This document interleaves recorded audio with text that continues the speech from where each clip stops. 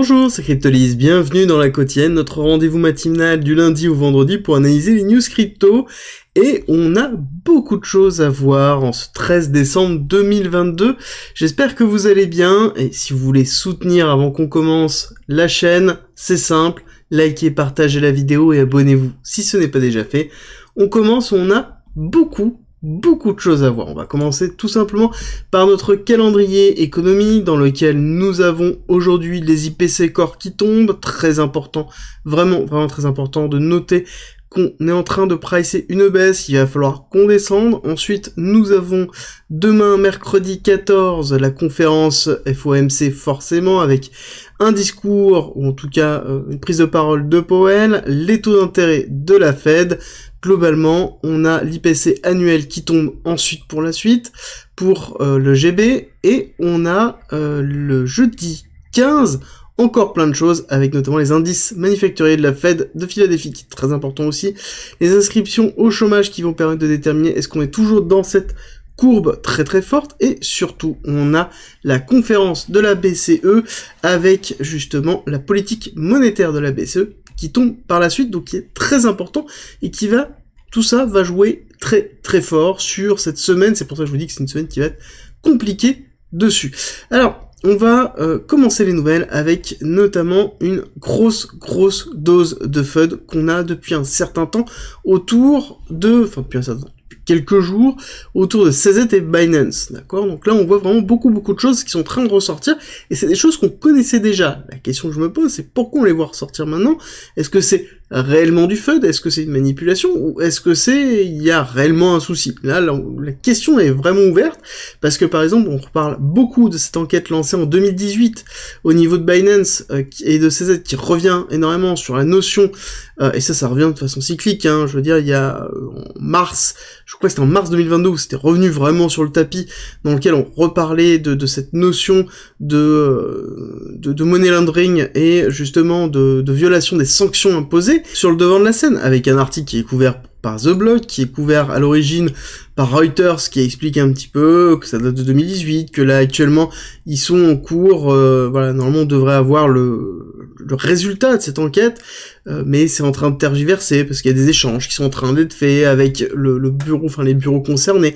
Bref, on a quand même pas mal de choses, avec notamment euh, le procureur du ministre américain de la justice, le procureur et le ministre euh, américain de la justice qui retarde justement la conclusion de l'enquête. Alors la question elle est euh, qu'est-ce qu'il est réellement? À savoir que on a comme chef d'accusation transmission d'argent sans licence, complot de blanchiment d'argent et violation de sanctions pénales. Ce qui est quand même assez colossal. Hein. Quand on regarde un petit peu ce qu'on a, on a quand même quelque chose qui est, assez fort hein, en termes de sanctions pures et dures, et surtout que ça vise Binance, mais aussi ses aides son CEO. À côté, on a justement Binance qui répond officiellement avec une déclaration, alors qui est une déclaration qui malheureusement n'est pas forcément très officielle parce qu'elle est postée sur Twitter plus sur leur blog, ce n'est pas un courrier officiel à Reuters, en tout cas ce qui est, dommage, mais à côté on a voilà une déclaration qui est comme quoi Reuters a faux et que principalement ils font tout de leur côté pour être conformes et qu'ils ont euh, ils ont globalement le département le plus complet qui existe sur l'ensemble du marché pour pouvoir être compliant et euh, protéger ses utilisateurs. Je trouve que cette défense elle est intéressante, mais moi la réflexion que j'ai, c'est pourquoi on a une série de fans dessus. Est-ce que ça continue comme ça ou pas? À savoir qu'on a encore autre chose qui tombe.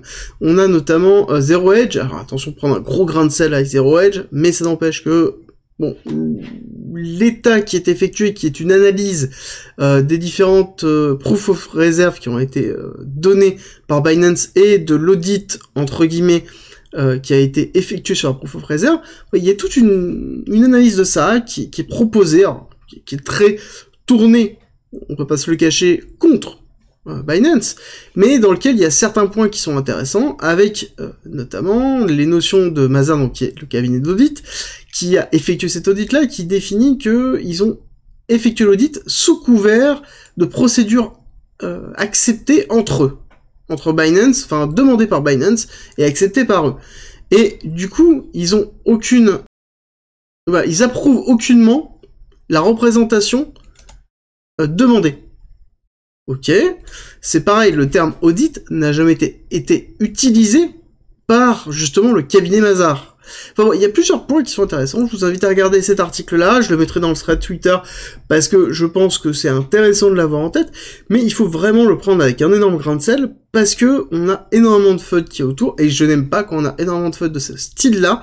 Avec notamment, on sort les vieux dossiers, on n'a pas de nouvelles informations. Oui, Peut-être que au niveau du Proof of Reserve, il y a euh, un certain nombre de choses qui ont été données, mais vous connaissez ma position sur le Proof of Reserve, j'en ai déjà parlé plusieurs fois. Je considère que le Proof of Reserve n'est pas suffisant, c'est juste une représentation des liquidités actuelles par rapport aux liquidités des dépositaires, mais ne représente pas la santé de la société et de l'utilisation et du leverage effectué au niveau des fonds par rapport à d'autres positions. D'accord? On peut avoir un Proof of Reserve ok et avoir des grosses parties leveragées sans qu'on ait cette vision-là dans euh, malheureusement le proof of reserve. Et c'est ce qui me gêne énormément et ce qui me confirme un petit peu quand on regarde euh, cet article de Zero Edge, on a quelques points en effet qui sont voilà, étranges, mais qui sont pas forcément étranges dans le mauvais sens, mais qui sont étranges dans le sens où en, lui-même le proof of reserve est étrange, d'accord? Donc je pense qu'il faut vraiment vraiment euh, prendre un grain de, de ça, mais garder en fait voilà, une idée générale sur déjà le proof of reserve peut-être n'est pas suffisant pour euh, assurer une véritable transparence comme on nous le propose. On va continuer les nouvelles parce qu'on a déjà parlé beaucoup euh, trop de Binance et de SBF. On va attaquer avec The Block. Euh, The Block qui nous propose deux articles avec notamment Sam SBF, donc Sam Bankman-Fried, qui refuse d'aller au Congrès pour être entendu, alors qui c'est très intéressant, c'est qu'il parcourt euh, le Times, euh, il va euh, ensuite sur les différents live et space sur Twitter, mais par contre il refuse d'aller au Congrès. Bah, qu'est-ce qu'on tienne? Quelques jours, quelques heures après, bah, qu'est-ce qui se passe? Nous avons SBF qui est, mais, enfin, qui est arrêté aux Bahamas et qui va certainement être extradé aux US pour pouvoir être entendu et surtout pour pouvoir être poursuivi sur un ensemble de chefs d'accusation. On attend d'avoir la liste, mais je pense que ça risque d'être assez long par rapport à tout ce qui est reproché. On va continuer nos nouvelles avec des choses qui sont plutôt positives, avec notamment Solana, Solana qui continue à travailler. Hein. Je vous ai expliqué que malgré la, chute de FTX, Solana c'était un projet solide et que ça a impacté assez peu parce qu'ils ont quand même beaucoup de fonds pour continuer à développer et qui continueraient à développer. Chose que l'on voit notamment avec l'intégration de Solana à Discord, avec un certain nombre de choses qui sont intéressantes, le fait qu'il y ait le wallet directement, enfin qu'on puisse loguer à travers le wallet, qu'on puisse attribuer un certain nombre de choses par rapport au wallet, enfin, je pense que c'est vraiment le début par rapport au Web3, et ce qui est intéressant, c'est que même quand on regarde un petit peu les différents bots Discord, on a déjà une intégration qui est en train d'être effectuée au niveau du Web3 dans les bots Discord. Et je pense que Discord va devenir véritablement une plateforme intégrée au monde Web3, et en tout cas c'est ce que je souhaiterais, est-ce que ça va être le cas, est-ce que c'est une utopie ou pas? À vous de dire ce que vous en pensez. Ensuite, nous avons Avalanche. Avalanche qui propose notamment Exagate. Il nous propose justement l'explication de Exagate et la mise à disposition de Exagate, qui est euh, globalement la possibilité de déterminer si un smart contract est frauduleux ou non avant de le signer. Et je pense que c'est très très important. Pourquoi? Parce que or, eux, ils parlent de 2,7 milliards de dollars qui ont été volés notamment dans des exploits sur le Web3. Je suis tout à fait d'accord. Mais même sans ça, le fait de devoir signer un contrat, euh, on a tendance à le faire de façon machinale, alors qu'il y a des implications qui sont très très fortes derrière les contrats et qu'on n'a pas forcément la capacité de déterminer est-ce que ces contrats ou non ont quelque chose de malicieux dedans ou est-ce que c'est conforme à ce qu'on voudrait. Et le fait d'avoir quelque chose qui euh, offre cette forme de tampon, et qui explique, qui euh, marginalise et qui démocratise un petit peu euh, ces smart contracts, la compréhension en tout cas, qui démocratise la compréhension de ces smart contracts, est très important parce que justement c'est le pas vers la mass adoption. si à chaque fois on est obligé de connaître le Solidity ou le Rust, peu importe le langage dans lequel ça a été développé, pour comprendre le smart contract et se dire ah c'est un bon smart contract, je peux le signer. Bref, on n'arrivera pas à avoir la mass adoption, donc on doit avoir des outils comme Exagate pour pouvoir le faire, et je trouve ça positif, et en tout cas merci Avalanche de mettre en avant cet article-là. Ensuite, nous avons euh, une petite levée de fonds de 20 millions de dollars. J'en parle pour plusieurs raisons. Parce que, un, on parle de ce projet qui s'appelle euh, Nilion. Nilion, qui est un projet de décentralisation de la donnée et de stockage décentralisé à travers notamment un modèle mathématique euh, qui est effectué. Et ce ne sera pas basé sur la blockchain. Donc on va avoir une technologie qui vient de lever des fonds, qui ressemble grandement à la blockchain, possiblement gratuite, possiblement dans les mêmes performances, voire même mieux, et qui n'utilise pas le système de blockchain. Et je trouve ça très très intéressant, parce que du coup on va se retrouver sur quelque chose qui peut être justement la continuité de la notion de blockchain en termes de technologie. Qu'est-ce que ça veut dire par contre pour la notion de crypto-monnaie? Bah, Ça veut dire que la notion de crypto-monnaie va se déphaser de la notion de la technologie, donc on va se retrouver sur autre chose et un autre paradigme. ça, c'est une autre type de discussion.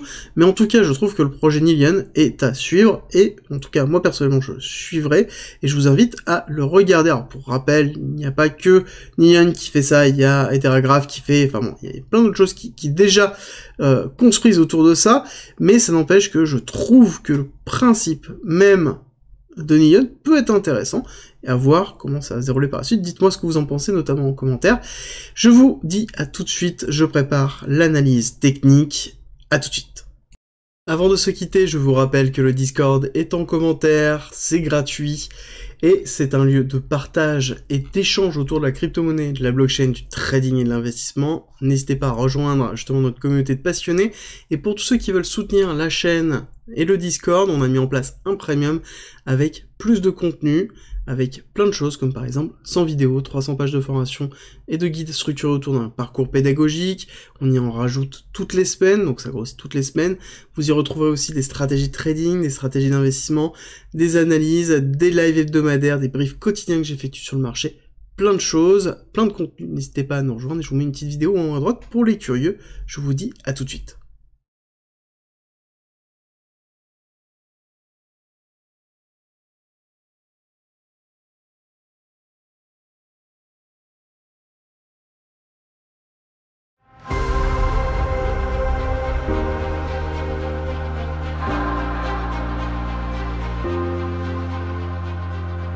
Si tu aimes mon contenu, n'hésite pas, partage, like, ça m'aide énormément et rejoins-nous sur Discord.